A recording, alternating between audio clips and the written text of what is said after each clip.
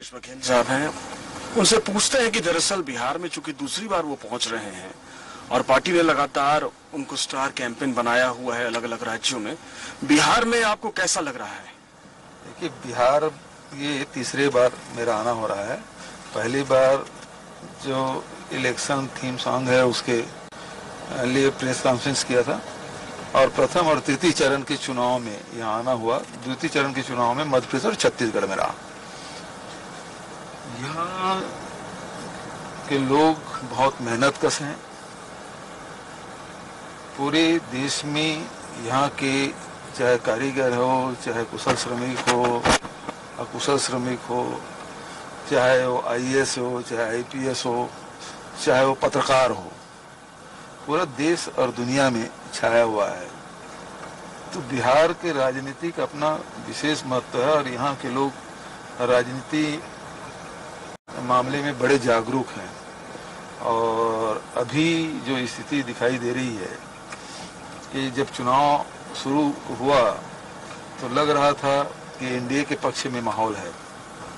लेकिन जैसे जैसे प्रचार बढ़ते गया, लोगों के रुझान दिखाई देने लगा और अब महागठबंधन के तरफ़ स्पष्ट रुझान दिखाई दे रहा है। प्रथम और द्वितीय चरण के मतदान हो चुके हैं और दोनों चरणों में क्लीन स्वीप महागठबंधन के दिखाई दे रहे हैं।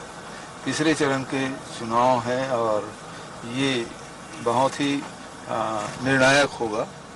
तो इसलिए इस चरण के चुनाव का भी अपना बहुत महत्व है। और तीसरे चरण में पहले ही गठबंधन मज़बूत रहा है तो इसमें तो हम लोग एक तरफा जीतेंगे। तो दो चरण के चुनाव हो चुके हैं। तीसरे चरण के प्रचार के लिए छत्तीसगढ़ के मुख्यमंत्री भूपेश बघेल जा रहे हैं प्रचार में। महत्वपूर्ण चीज़ ये है कि राहुल गांधी का कल शो हुआ था तो राहुल गांधी ने छत्तीसगढ़ का ज़िक्र किया था और सवाल उठाया था कि जब भी ये खेती किसानी वाला इलाका है तो यहाँ के किसानों को हज़ार रुपए में धान क्यों बेचना पड़ता है, जबकि छत्तीसगढ़ में वो पच्चीस सौ रुपए में बिकता है।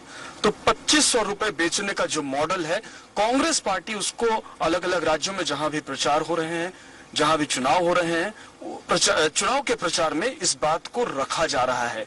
यानी छत्तीसगढ़ के मॉडल को एक वैकल्पिक मॉडल की तरह देश के अलग अलग राज्यों में कांग्रेस रख रही है और कांग्रेस मुख्यमंत्री भूपेश बघेल को एक बरस के खड़ा करने की कोशिश कर रही है कि दरअसल जो विकास होता है वो किस तरह से व्यक्ति केंद्रित होता है और ये जो विकास है, ये सही मायने में विकास है।